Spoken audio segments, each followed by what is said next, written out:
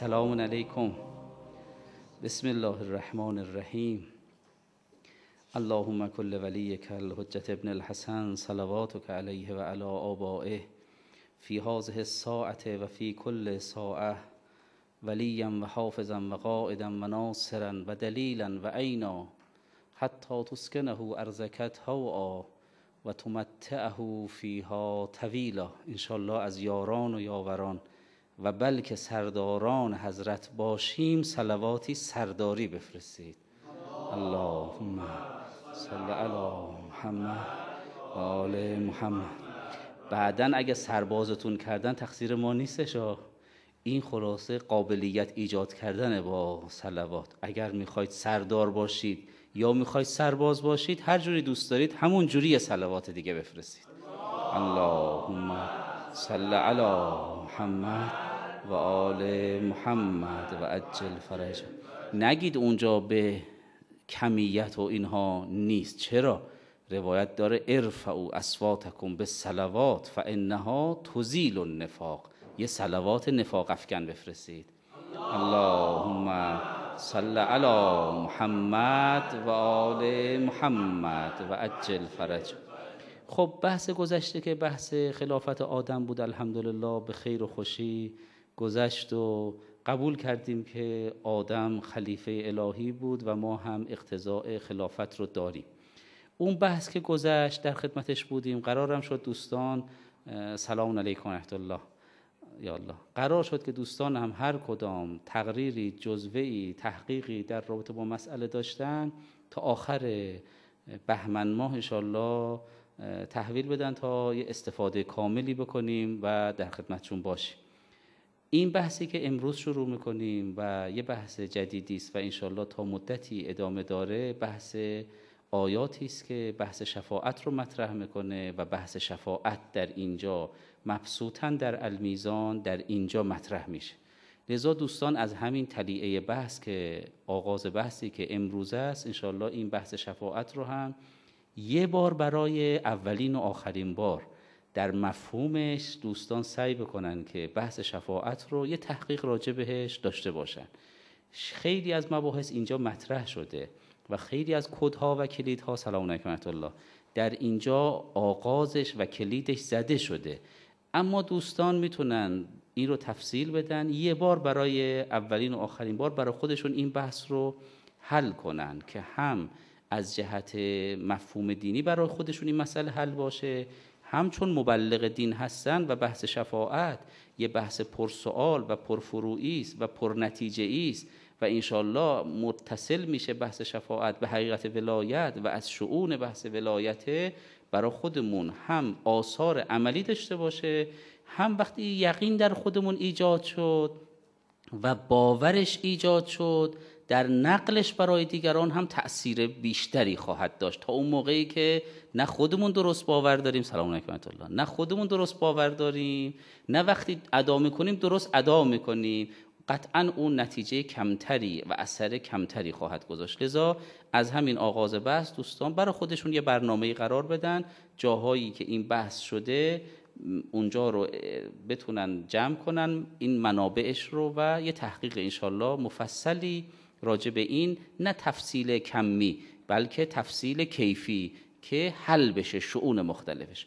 مرحوم علامه در این آیات شریفه که حالا اول آیه رو بخونیم که جلسمون به ذکر آیات متبرک بشه میفرماید که یا بنی اسرائیل اذکروا نعمتی التي انعمت علیکم و انی فضلتکم علی العالمین واتقوا یوما لا تجزی نفس عن نفس شیئا ولا یقبل منها شفاعه ولا یؤخذ منها عدل ولا هم ینصرون که آیه دوم در بحث شفاعت و آیه اول در همون ادامه آیاتی که در بحث نعمتهای بنی اسرائیل بود که ایشون فرمودن در آیات قبل نزدیک صد و خورده آیه در اینجا خواهد آمد که همه راجب بنی اسرائیل و راجب نعمتها و آفتهایی که بنی اسرائیل برای بنی اسرائیل پیش آمد بحث خواهد کرد که ادامه داره این آیات. نزدیک صد و خورده ای ادامه داره از آیات چند آیه قبل شروع شد. در ابتدای بحث در این آیه شریفه میفرماید یا بنی اسرائیل اذکروا نعمتی. همون جوری که تو فراز قبلی هم همین آیه تکرار در همین حد شده بود که یا بنی اسرائیل اذکروا نعمتی التي انعمت علیکم. منتها دنباله او بود و اوفو به عهدی اوفه به عهدکم و ایایه فرهبون که آیه چهلم بود که اونجا بحث انعمت علیکم رو و اون بحثی رو که در اونجا نعمت چی هستش رو عرض کردیم. لذا اینجا دیگه تکرار نمی کنیم و البته بحث حقیقت نعمت بعدا خواهد آمد. بحث حقیقت النعمه که به صورت مطلق بیاد بعدا خواهد آمد و در رابطه با این مسئله بحث خیلی مهمی در پیش داریم. شاید تو همین جلدن باشه.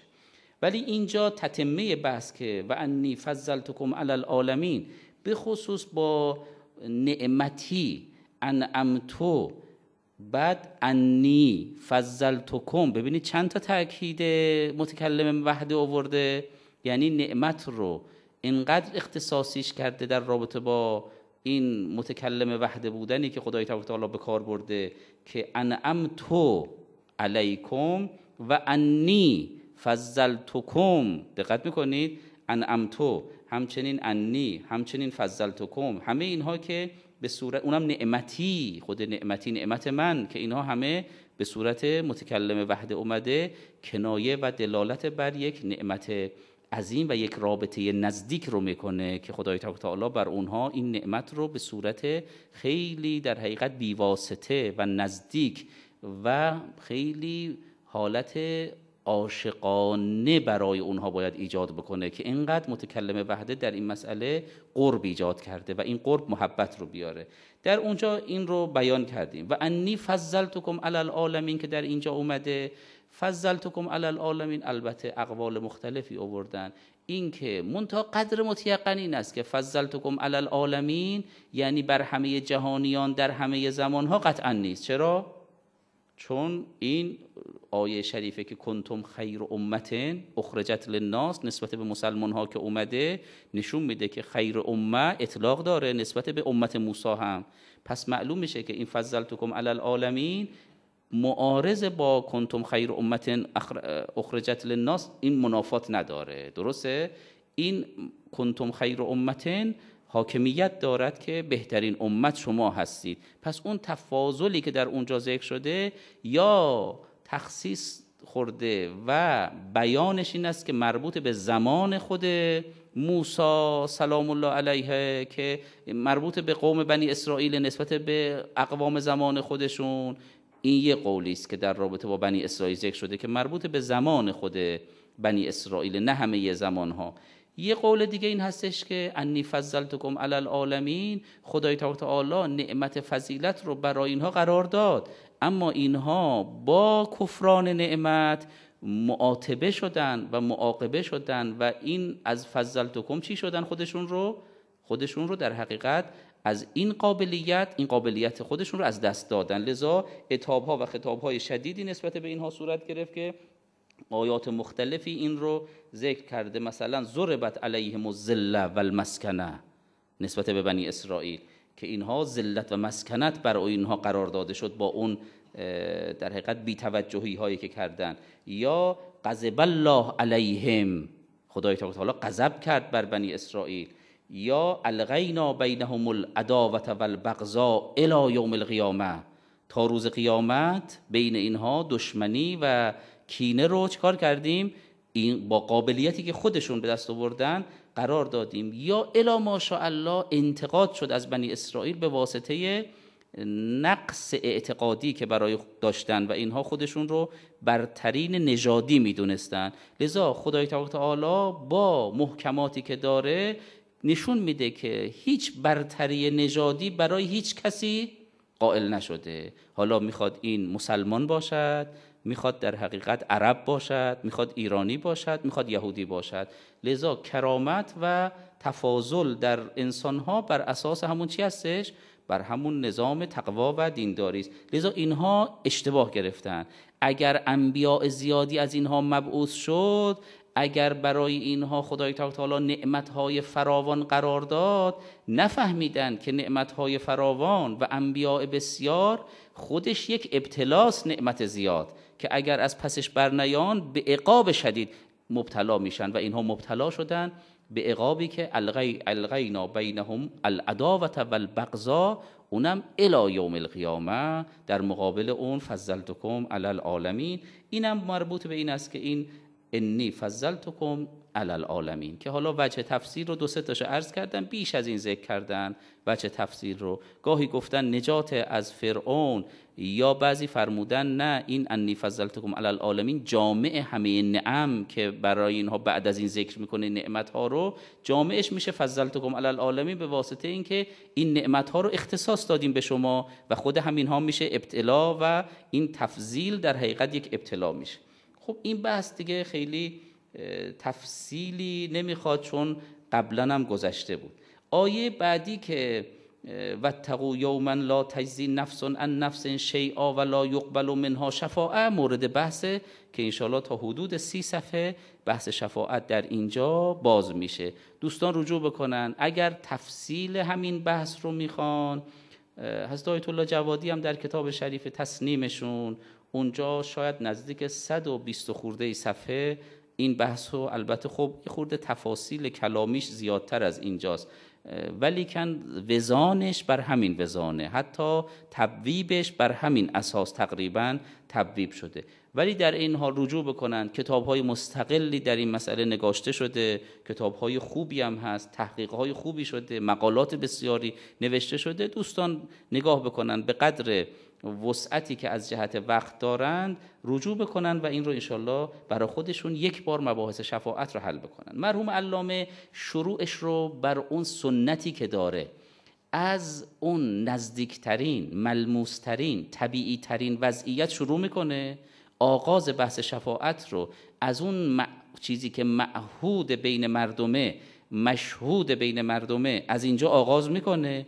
بعد کم کم با تخته نقائص اونچه که در اینجاست و حدودی که این مسئله داره با تخته این مطلب رو لطیف می‌کنه؟ دقت می‌کنید؟ یعنی مثل این میمونه که از طبیعیات به الهیات به معنی الاعم میرسونه و بعد از الهیات به معنی الاعم به الهیات به معنی به معنی الاخص که اون حرف نهایی است در اینجا میرسونه. اینجا هم همین کارو کرده. تو ابتدای کار از همون سنن جاریه بین مردم که شفاعت رو تو این رابطه ها می‌بینن او رو اول میاد تبیین می‌کنه. چرا؟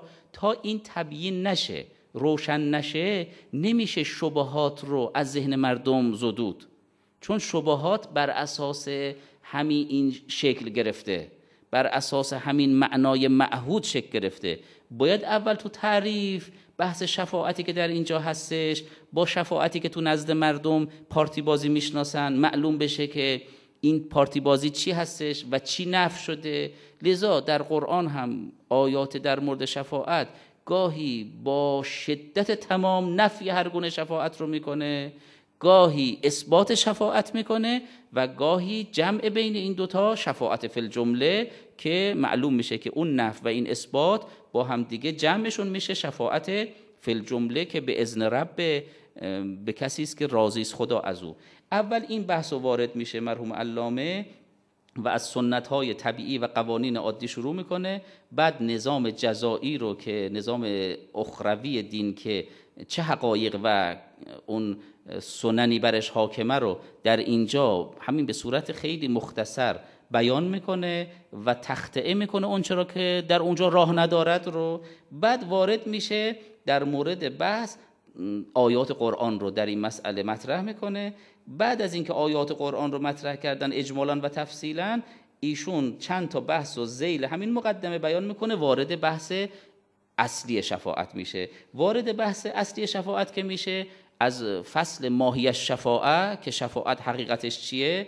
که اونجا تعریف شفاعت و موارد شفاعت و اینها رو مطرح می‌کنه که اصل حقیقت شفاعت آیا تطمیم سببه آیا شفاعت در مقابل سببیته. بعد از اینکه این بحث رو مفصل وارد میشن راجع به اینکه شفاعت اشکالاتش چی هستش؟ اشکالات بحث شفاعت رو مطرح می‌کنن. هفت اشکال رو بعد از اون شفیکی هستش مشفوکی هستش هر کدام رو فصلی براش قرار میده.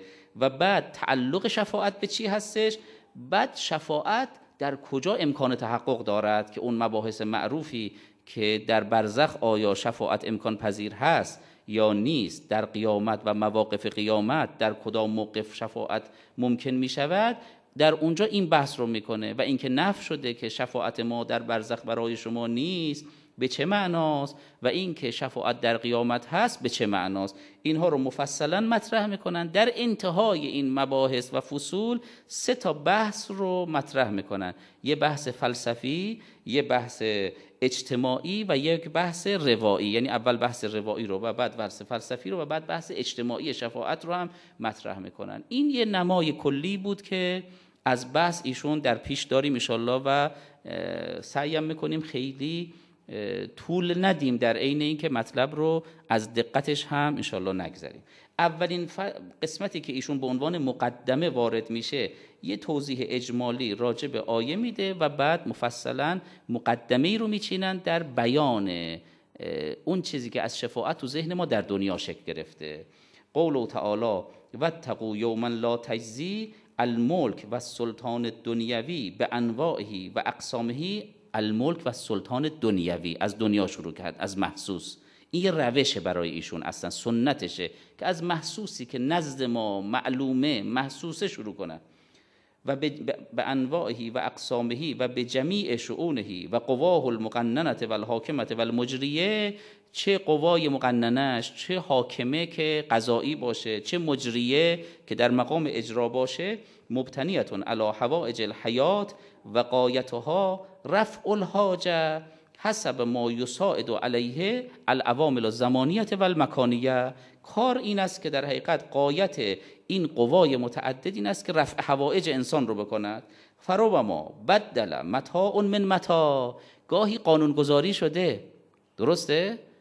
قانونگذاری شده. اما بدل متاع ان متاع او نفع او نفع ان نفع. یا اینکه تبدیل می‌کنه. یه متاعی رو با اینکه قانون گذاشته بود قرار بود این متاع باشه اما متاعی رو تبدیل می‌کنه به متاع دیگه. نفعی رو در مقابل نفع دیگه قرار میده و جابجا جا می‌کنه. یا حکمی رو با حکم دیگری عوض می‌کنه. در دنیا اینجوری است یعنی نظامات حاکمه اینها رو دارن تخصیص دارن دائما غیر از اون تخصیص عمومی که دارن تو مصادیق هم که می‌رسن نسبت به افراد مختلف نسبت به حالات مختلف نسبت به شرایط مختلف یه وقتی وقت جنگی مثلا حکومت نظامی میشه یه جرم ساده هم سنگین میشه تبدیل میشه. حکمی با اینکه تو شرایط عادی مثلا ساده بود جزاش و یا عادی بود و یا یه جریمه اما یه دفعه سنگین میشه همین اجرای این عمل و انجام این عمل در یه شر خود نظام دین هم همین رو داره.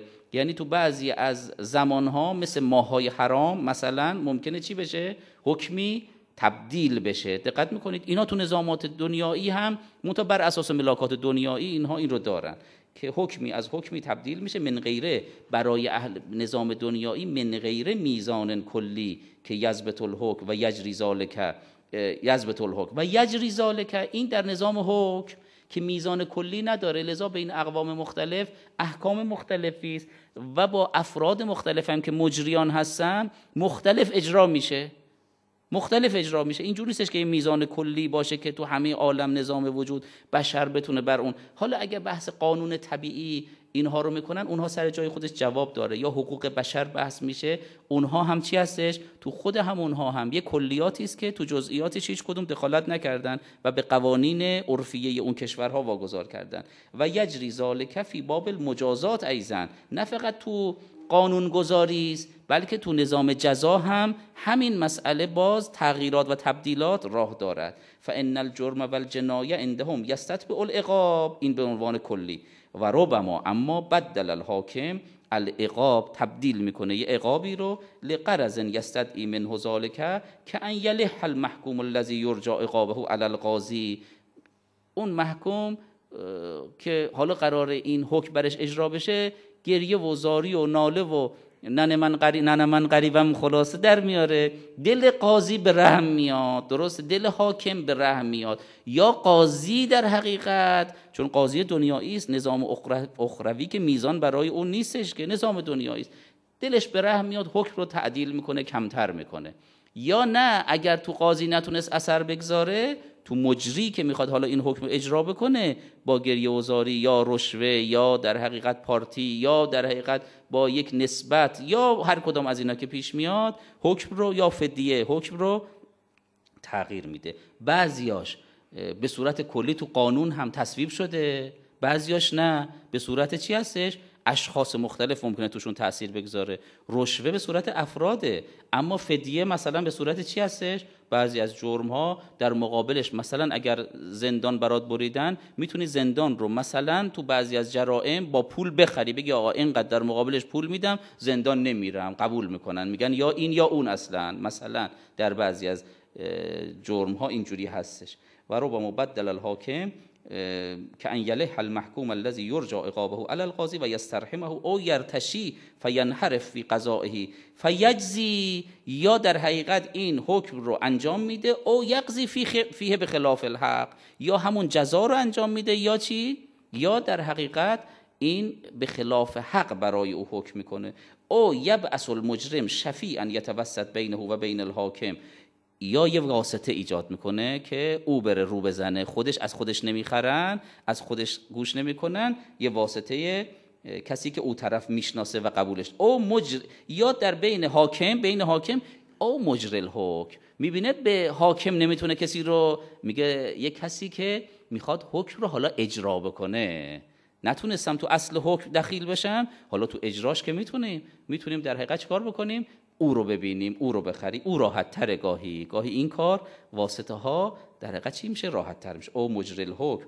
او یعطی ادلا و بدلا یا ادل براش قرار میده یا عدل. هر دو درسته از دو عنوان. عدلا و بدلا براش قرار میده چون تو آیه اومده یؤخذ منها لا یؤخذ منها عدلون عدل یه چیزی در مقابلش یا عدل در حقیقت یه بهایی که مقابل این بشه.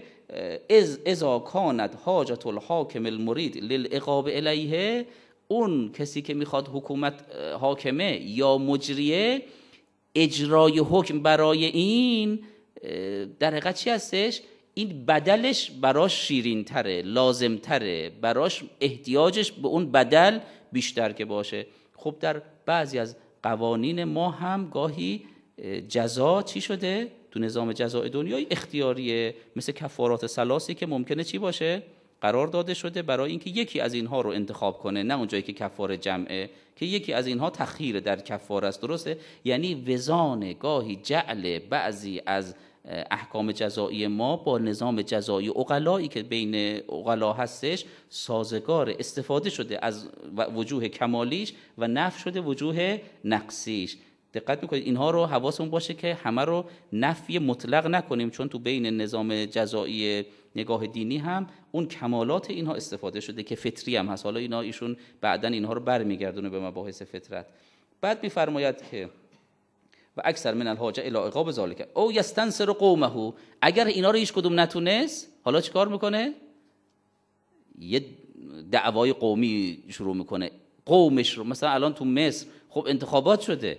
ولی کن یه عده شکست خوردن یه عده پیروز شدن. خب اون طرف هرچی حرف زد دید فایده نداره. حالا ریخته حزبش رو بیرون تو خیابون. درسته؟ یا تو فتنه ما. وقتی پیروز نشد حالا قومش رو و حزبش رو دعوت کرد که بیان بیرون. رو قومه فینصرو از او طلب کمک می‌کنه اونا میریزن بیرون. فینصروه فیتخلص بذالک ان تبعت العقاب. دیگه حالا از موتن عقابش نجاتش میدن. خب امیر مومنان علیه السلام نجاشی می‌خواست اون حکم رو اجرا کنه. اون رئیس قومش اون طارق اومد گفتش که بالاخره این شاعر شماست این وجیه این بین مردم مشهور قومش تقاضا دارن که شما از این جزا معافش بکنی. حضرت هم اجرا کرد و نجاشی و طارق هر دو هم چی شدن؟ بعد از اون فرار کردن و پناهنده شدن به معاویه. اما خب خیلی جالب بود. وقتی رفتن پیش معاویه معاویه شروع کرد از امیر مؤمنان بدگویی کردن. دیگه طارق اونجا تحمل نکرد. گفت معاویه این که ما از پیش علی آمدیم اینجا نه از باب این بود که علی بد بود. از باب این بود که ما تحمل نداشتیم خوبی علی رو. خیلی جالب و فرار کرده از پیش امیر مؤمنان پناهنده شده به معاویه اما منصفه بازم. که وقتی معاویه شروع کرد اهل فتنه ما این کار کردن.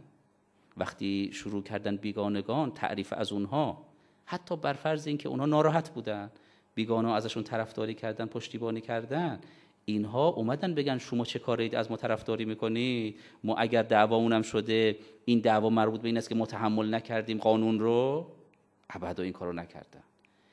امیر مومنان علیه السلام بعدا فرمود که اگر چون معاویه ناراحت شد از این کلام امراس به معاویه گفتش که سخت نگیر. این دوتا معروفن.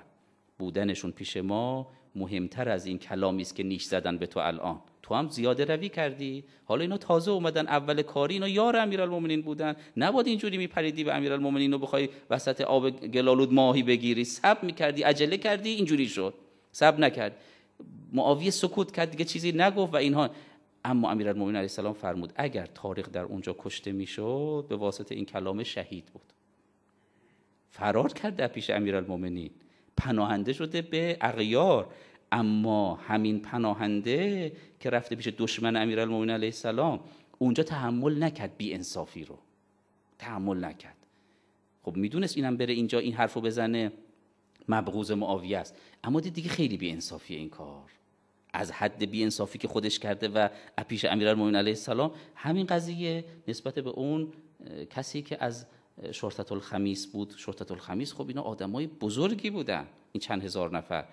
این چند هزار نفری که با امیرالمومنین عهد بسته بودن که شما هر امری بکنی ما اطاعت بیچون چرا می‌کنیم؟ شما هم در حقیقت بی در حقیقت سوال و پرسش و حساب ما رو داخل در بهش بکنی. امیرالمومنین قبول کرده بود. این یه معاهده بود با اینها که اینها چهار هزار یا پنج هزار نفر بودن به ریاست اسبق ابن نباته و قیس ابن سعد ابن عباده. خب یکی از اینها وقتی که امیرالمومنین علیه السلام یکی از افراد در حقیقت کوفه تخلفی رو کرده بود گرفته بودن داشتن میبردن پیش امیرالمومنین. یکی از اینها دید که این از قومشه از قبیلشه از دسته چون آدمای قوی هم بودن و پیزوری نبودن. آدمای رنگ و روباخته نبودن آدمای شجاع و قوی بودن قدر بودن. اینو از دست اون محافظات در آورد و نجات داد. امیرالمومنین علیه السلام وقتی رفتن این محافظا پیش امیرالمومنین گفتن گفت چی شد؟ گفت این فلانی این رو از دست ما گرفت گفت نه این از قوم منه نمی‌خواد ببر امیران گفت برید خودشو بیارید خودشو که آوردن حالا دیگه قصهش جالبه. وقتی که اون تازیان ها رو برای زد داشتن میبردن امر کرد ببری زندان. داشتن میبردن زندان اونجا برگشت گفتش که یا علی چه کنیم که؟ با تو بودن ذلته اما بی تو بودن کفره. کتکر خورده تازیان ها رو خورده همون موقعی که دردش اومده ها. نه اون وقتی که تو راحتیه. داره میگه که یا علی با تو بودن ذلت یعنی رعایت کسی رو نمی‌کنی ذلت از این با. یعنی حفظ این که حالا این شرطت الخمیس این یار تو اینا رو رعایت نمی‌کنی. با تو بودن ذلت اما بی تو بودن کفره.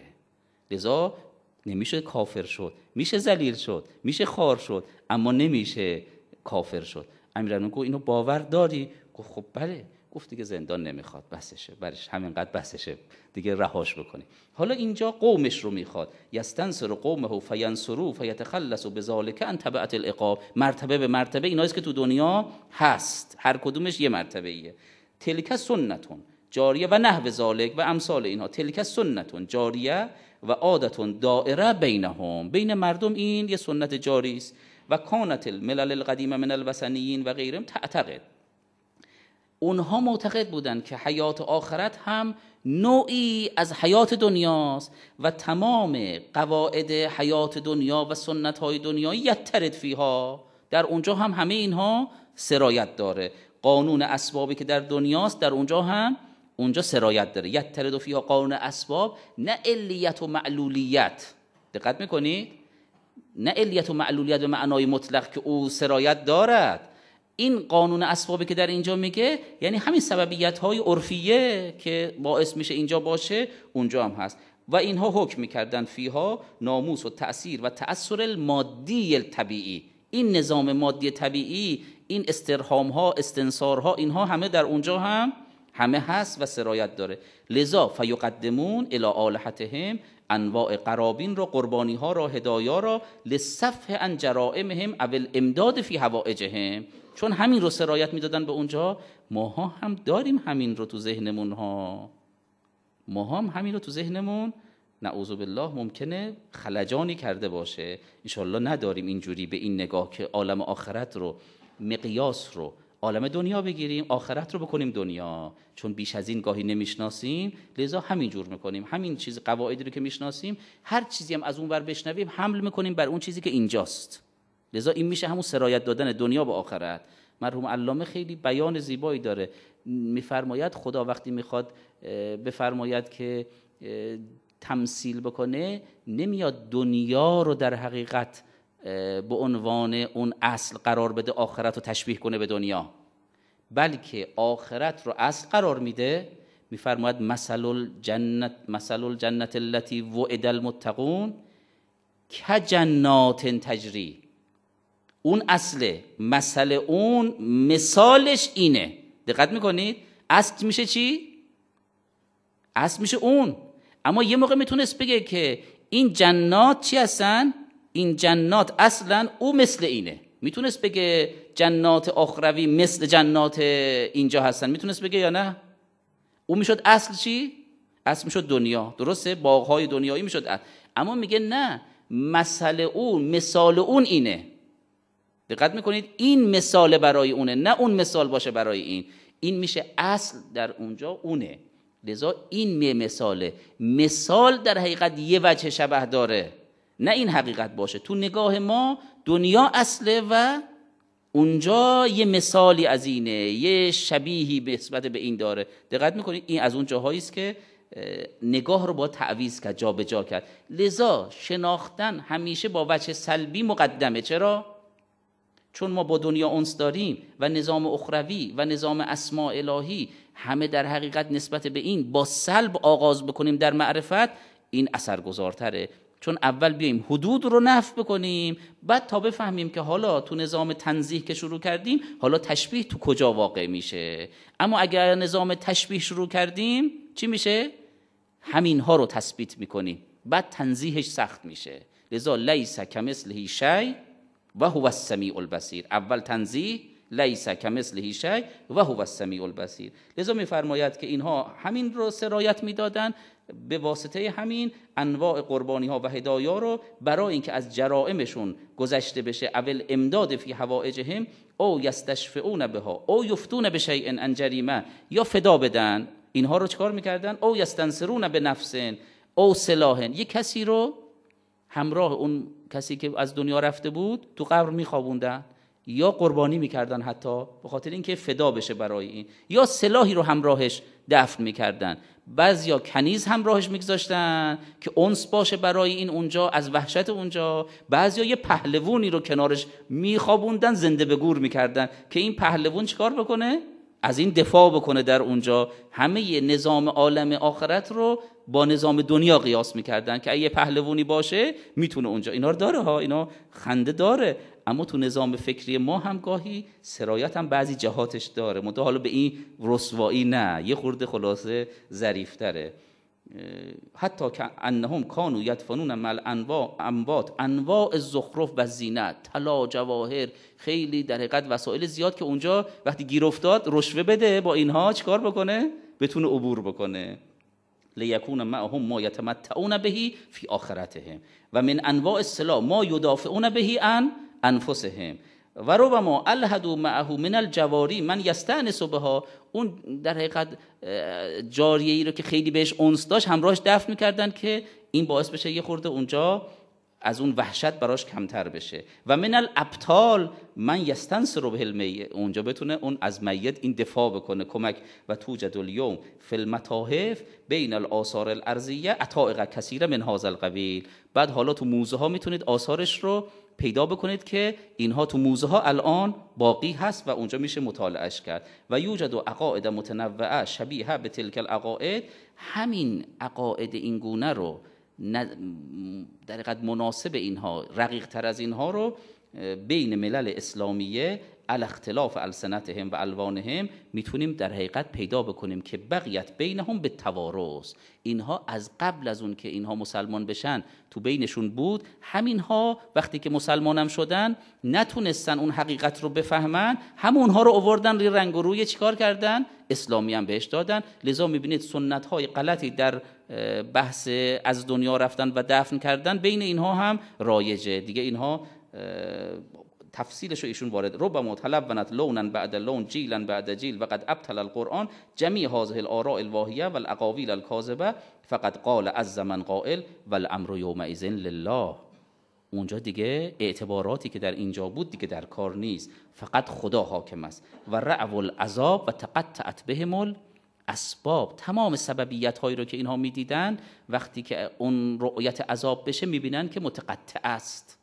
یعنی هیچ کدوم از اینا کارگر نیست اثر ندارد. تقطعت بهم الاسباب. ولقد جئتمونا فرادا کما خلقناکم اول مره و ترکتم ما خولناکم وراء ظهورکم و ما نرا معکم شفعاکم الذین زعمتم انهم فیکم شرکا. لقد تقطع بینکم.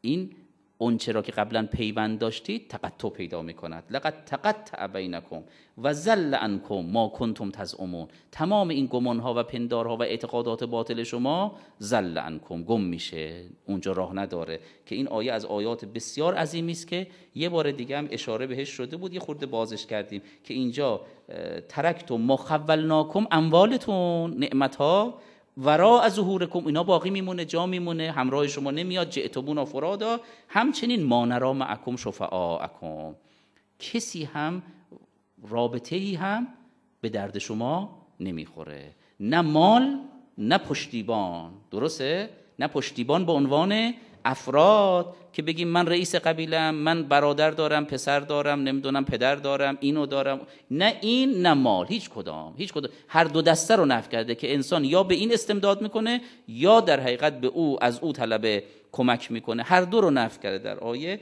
انشالله سر جای خودش مفصل خواهد آمد. هنالک تبلو کل نفس ما اسلفت و ردو الی الله مولاهم الحق و زل عنهم ما کانوا یفترون. که اینا همه بیان همون مسئله. الی غیر ذالک من الآیات التي بین فیها ان الموت خال عن الاسباب الدنیویه موتن آخرت از اسباب دنیایی خالی و به معزل عن الارتباطات طبیعیه ببینید این بحث شفاعت رو داره اول همونی که تو مر بین ما مرسومه و می‌بینیم مشهوده رو بیان کرد بعد حالا داره کم کم تنزیهش می‌کنه. با آیات قرآن داره تنزیه می‌کنه. اون رو از اون چه که ما تو ذهنمون اونس داریم خالی بکنه که اونجا این قواعد حاکم نیست. درسته؟ بعد از اینکه خالی کرد که اونجا این قواعد حاکم نیست اون وقت بیان می‌کنه که حالا پس حقیقت شفاعت چیه؟ بعد شفیع کیه مشفوع کیه بعد از اون این بیان. این روش هم قالب هم در ضمن چی شده؟ غیر از محتوا نیامده یه سری محتوا رو فقط بریزه. با یک روش دقیق و حرفه‌ای مسئله رو شروع و آغاز کار رو قرار داده. خود این روش رو هم باید یاد گرفت.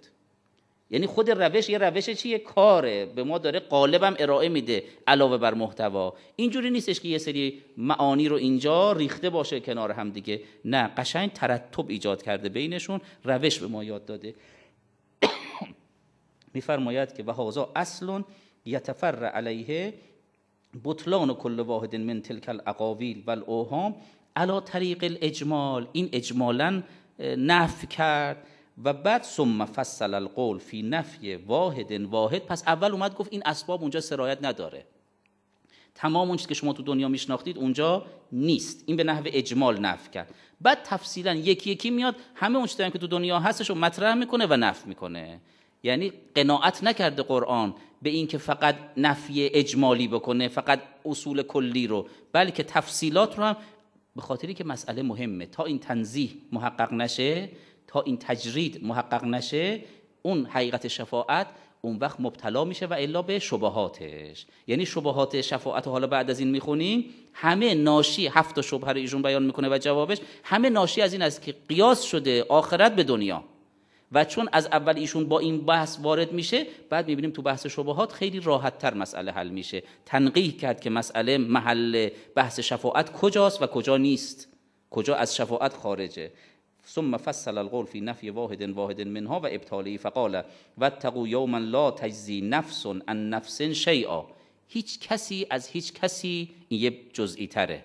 درسته؟ علاوه بر نفی علل و اسباب که کلی بود این میگه هیچ کسی نسبت به کسی دیگری نمی‌تونه باری رو از دیگری به دوش بگیره بگه که من جزای او باشم راه نداره در اونجا. لا تجزی نفس ان نفس شیئا و لا یقبل منها شفاعه. هیچ کسی شفاعتش نسبت به دیگری قبول نمی شود کدوم شفاعت رو داره نفع می‌کنه؟ شفاعت متوهمه در دنیا رو دیگه. لذا برمیگرده به اون شفاعتی که در دنیا متوهم بود. لا یقبل نفس ان نفس شیئا و لا یقبل منها شفاعه و لا یؤخذ منها عدل. جایگزین نداره فدیه نداره. ولا هم ینصرون. این در حقیقت امکان این که ولا هم ینصر این ینصرون که در حقیقت بخواد نصرت هم بشه راه نداره. از دیگری نفسی از نفسی نمی‌تونه نصرت در حقیقت طلب نصرت کنه و اون ناصر این باشه. ناصر نداره حمیم نداره دوست نداره اونجا صدیق و حمیم و اینا هیچ کدوم راه ندارد منتها نفی این با اثبات فل جملش بعدا بیان می‌کنه که نفی این با اثبات فل جملش در حقیقت یکی حقیقت دوتا نیست. نفی به معنای اسباب طبیعی و دنیای اثبات به معنای همون مرزی الهی بودنه. و قال یوم لا و قال یوم لا بیع فیه ولا خله در اون روز خرید و فروش نیست که بخوای اموال رو دفن کنی همراهش که بخواد با اموال کاری انجام بده. ولا خله رفاقت نیست. ولا شفاعه نفی مطلق. و قال یوم لا یغنی مولا ان مول ان مولا شیئا. هیچ در حقیقت دوستی از دوستی در حقیقت چی هستش؟ ولی از ولی یا آقایی از خلاصه نوکری هیچ کدوم از اینها. تابعی از مطبوعی هیچ شفاعتی تو اینها راه ندارد. و قال چون اونجا این به معنای ولایت های دنیایی است اونجایی که منقطع باشه. فقط سببیت الهی است اون سببیت الهی حاکمیت دارد. اگر می لا در اونجا یغنی مولن ان مولن شیعا ولایت در اونجا نیست. ولایت به معنای ولایت های دنیایی رو نفی می‌کنه دیگه. و قال یوم تولون مدبرین ما لکم من الله من آسم هیچ کسی نمی‌تونه نگهبان شما و آسم شما از خدا باشد. انسان در رابطه مستقیم مستقیم با خداست. و الامر یومئذ لله. ما لکم لا تناصرون بل هم الیوم مستسلمون. اونجا میگه که چی میشه که اینها دیگه طلب نصرت نمی‌کنن ناصرهاشون رو دعوت نمی‌کنن. چون در اون روز می‌بینن که ناصری در کار نیست در حقیقت ذلت تسلیم رو پذیرفتن. اما این ذلت تسلیم بل هم اليوم مستسلمون. مستسلم یعنی ذلت تسلیم رو قبول کردن. نه اینکه تسلیم شدن به معنای کمال. نه اینها ذلت تسلیم رو قبول کردن. چون می‌بینن ناصر ندارن. چون می‌بینن ناصر جواب داده نمیشه براشون هم اليوم مستسلمن. و قال یعبدون من دون الله ما لا یضرهم ولا ینفعهم و یقولون هؤلاء شفعاؤنا عند الله. اینها در حقیقت غیر خدا رو که عبادت می‌کردن اونایی که لا یضرهم ولا ینفعهم و یقولون هؤلاء شفعاؤنا عند الله. اینا شفا... الان تو دنیا دارن میگن. اینا شفعای ما نزد خدا. قل اتنبئون الله بما لا یعلم فی, الله... فی السماوات ولا فی الارض. سبحانه و تعالی. اما یشرکون اینها در اونجا راه ندارن. مال الظالمین من حمیم ولا شفیع یتا فما لنا من شافعین ولا صدیق. حمیم الی غیر ذالک من الآیات الکریمه النافیه لوقوع شفاعه و تأثیر الوسائد و الاسباب یوم القیامت. هازا این رو داشته باش. بعد ایشون وارد شفاعت فی الجمله میشه که در اونجا میفرماید که قرآن با اینکه اینقدر در رابطه با اینکه شفی نیست واسطه نیست ناصر نیست اینقدر شدید وارد شد اما نمیاد بگه که هیچ رابطه ای در اونجا نیست. بل یثبتها بعض الاثبات. بعض الاثبات رو داره. الله الذي خلق السماوات والارض في سته ایام ثم استوى على العرش. ما لكم من دونه من ولی ولا ما لكم من دونه من ولی ولا شفی من دونه ولی و شفی ندارن. اما خود خدا من الله. ولی و شفی دارن یا ندارن؟ اثبات می‌کنه دیگه. من دونهی ندارن. دقت می‌کنید؟ این اثبات فی الجمله است. لیس لهم من دونهی ولیون ولا شفی نه مطلق لیس لهم ولیون ولا شفی لیس لهم من دونهی ولیون ولا شفی پس اثبات فی الجمله است. قل لله الشفاعت جمیعا. این دیگه صریح در اثبات که شفاعت برای خدا هست. پس اصل الشفاعه فی الجمله ثابت میشه. همچنین له ما فی السماوات و ما فی الارض منزل الذی یشفع عنده الا به اذنه. شفاعت هست منتها به اذن الهی.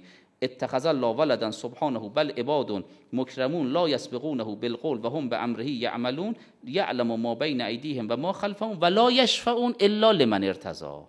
لا یشفعون الا شفاعت میشه برای کسانی که مورد رضای الهی هستند و هم من خشیته مشفقون که ملائکه شفاعت می‌کنن.